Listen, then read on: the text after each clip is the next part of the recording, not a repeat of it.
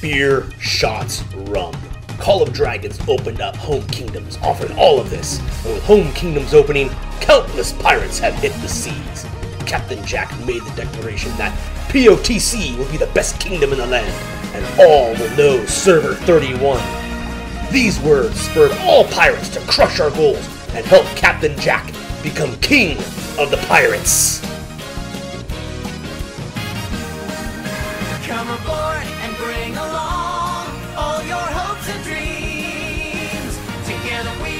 Find everything that we're looking for. One Piece. You don't know the power Of gaming on the dark side. Alright, guys. So, here we go. We're over here in our home kingdom. Castle looks pretty much the same, but what's really cool when I zoom out here is this new little feature. Ah, I got a little hood hanging out over my castle. Now, some of you guys might be wondering what heck that is. We'll get to that in a second. But what's really cool about Home Kingdoms, guys, is we pretty much own everything, right? I mean, we started out here in Forgotten Lands, which is cool, and there's no one else. It looks like just one major alliance per zone. Um, ours started there. Let's see, you've got Hung over there in Zoland. You got Posk here in Burning Lands. They're already kind of building out. Let's see, I don't know if there's anyone else. Uh, oh, here we go. Who's this? Who are you guys? Immortal Souls. Oh, they're building pretty quick. Oh, there's Death. DOB, right? Isn't that Death Over Betrayal? Let me see. Yep, Death Over Betrayal. They're here too, right? So basically, as far as I know, most of the people here in this zone are our allies already, which is great. Or I should say not the zone, but this kingdom. Um, however, POTC has taken the dragon. All right, we got the dragon here. And as you can see, once you take the dragon here in Home Kingdoms, guys, if you're in Home Kingdoms and you're wondering, you know, how you can see who is the king and all the places of, you know, the, the, titles the king can give out and all that stuff, what you want to do is click on this banner here. So you click on the banner, and it kind of gives you this right here and it shows, you know, the Alliance, POTC, the ones holding on to it right now. The High King happens to be R, R5, who's Captain Jack. So you go here and hit privileges, and it kind of gives you this quick breakdown of what home kingdoms are. Oh wow, you already wrote a message. There wasn't a message here earlier, so that's pretty cool. It says, "Welcome to the very first pirate kingdom in COD. POTC originated here from day one of the game, starting and has never left 31. This has been the same server we've been in since we started. I started um, uh, the game at Global Launcher in 31 myself.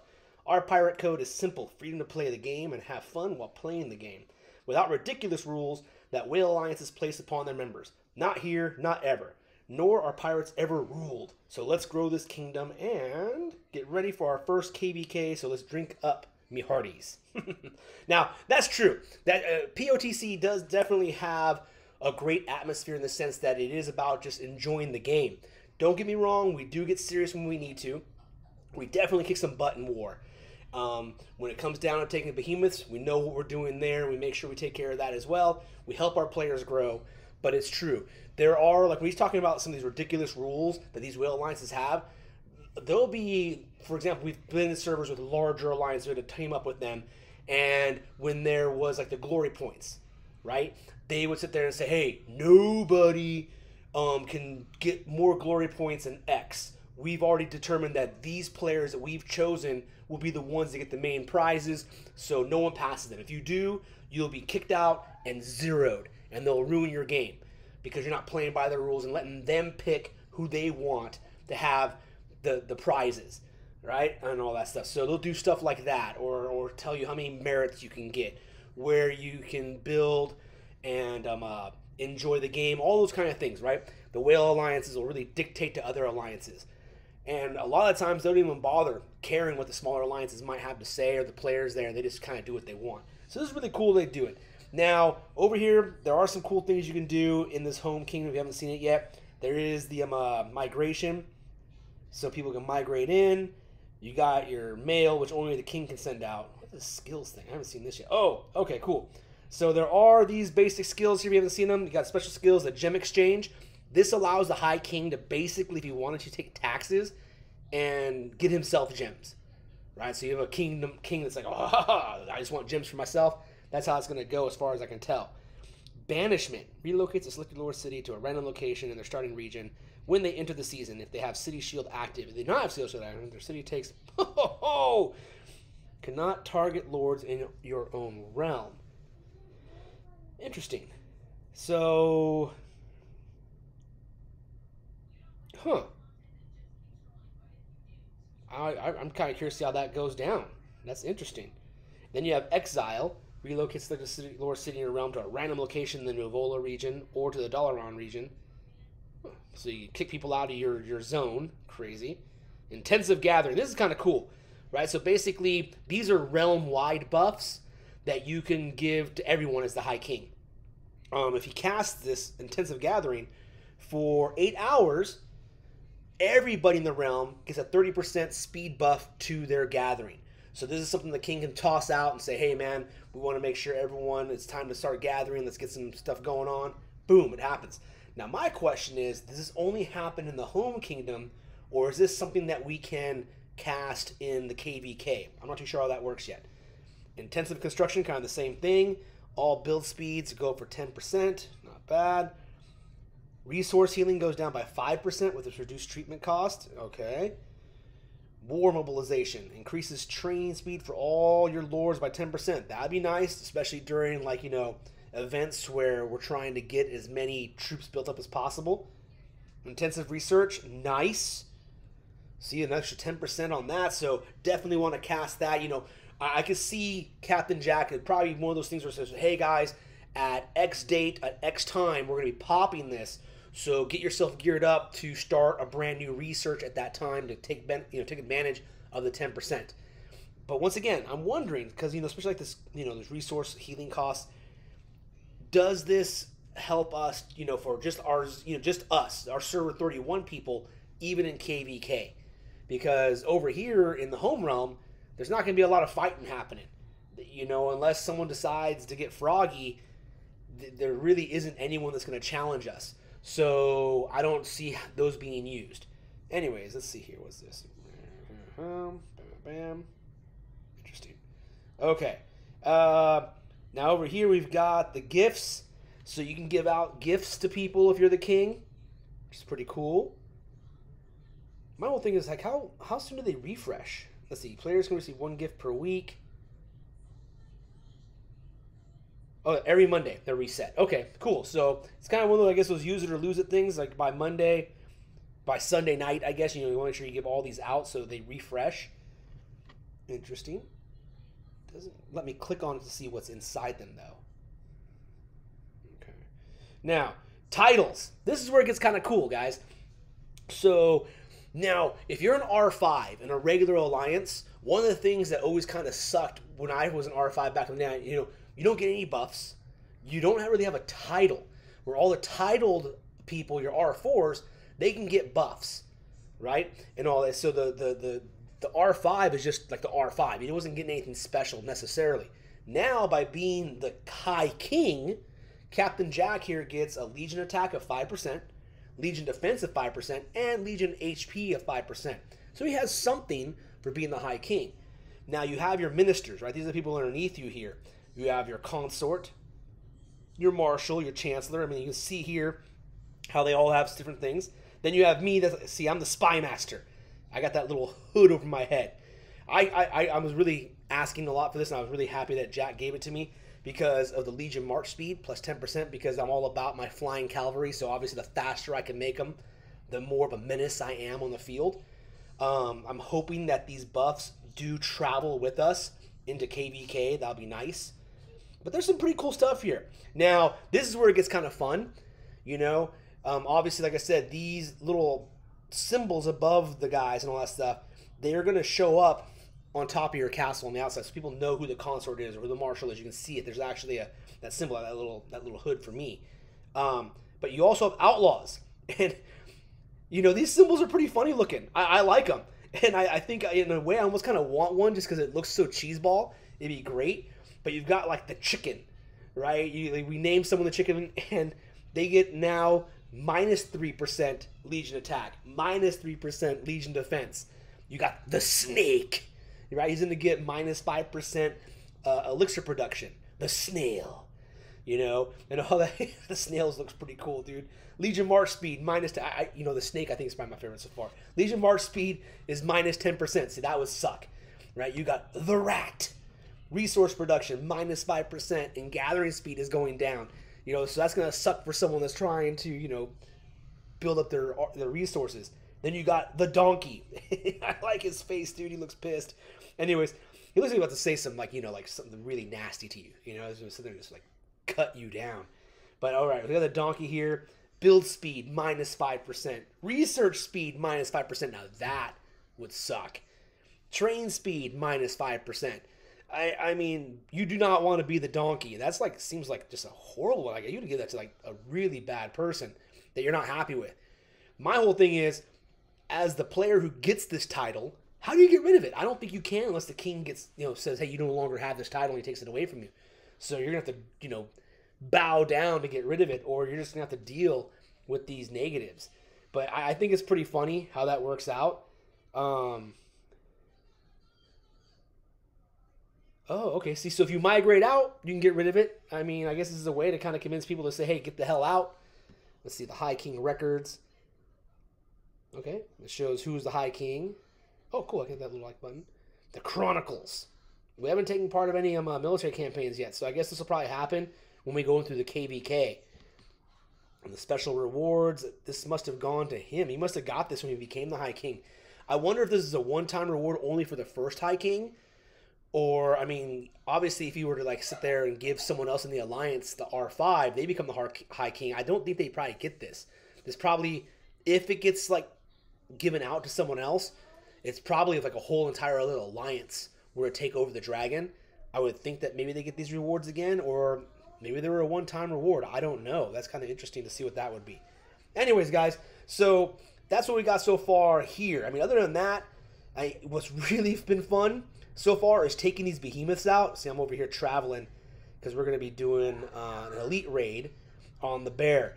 And I'm not even kidding, man. These these poor behemoths have gotten their asses handed to them. I mean, look, 300,000 health. I, I mean, these fights, even even the dragon himself, you know, like weren't lasting very long. I mean, we're we're all powered up. We got freaking T5s coming in here. We sneezed on this bear and he died. I mean, we walked in the the bear in the bear's lair and he basically rolled over. I mean, didn't even count, didn't even get a hit off. You know, it's crazy. But um, so I'm kind of curious to see how the elite raids will be if they'll be a little bit better. Oh, interesting. You know, he's got some new little power there. But what I'm really stoked for, what I'm looking forward to, guys, is uh, where are you? That's the Hydra. Ah, keep moving. It's here. The Dire Bear. I really, really, really want the Dire Bear um, frame. I want the frame from the Dire Bear. So you can see. Let me zoom out. That's like pretty much the only frame that I really want. You can see over here in my little things, avatar frames you know ah, this sucks i can't i can't get this one because I, I play on mac or on my ipad i can't um, uh, get the pc version i'm curious if you guys can comment below and let me know if i downloaded like an emulator on my mac that can do pc would i then count as the pc version so i can get this frame because it's a pretty cool frame but out of that other than that the only frame i really really want is this one the dire bear hunter i mean because it fits you can still see my my picture and the bear looks super sick better than the regular bear. I mean, that guy's whatever. He's cool. I, I mean, I, I won't sneeze on it. But this one's not the one I really, really want. The giant, bleh. Rock, I mean, he's not bad. I, I like the lightning bolts. But you start getting into these like higher ones, like the like the magma, the dragon.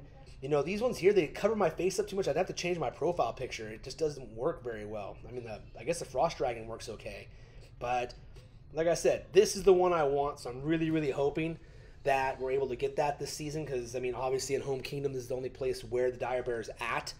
They're not in um, a lot of subsequent seasons after the first season, so I'm glad to see him. I definitely want him. Ah, get rid of that. Sorry.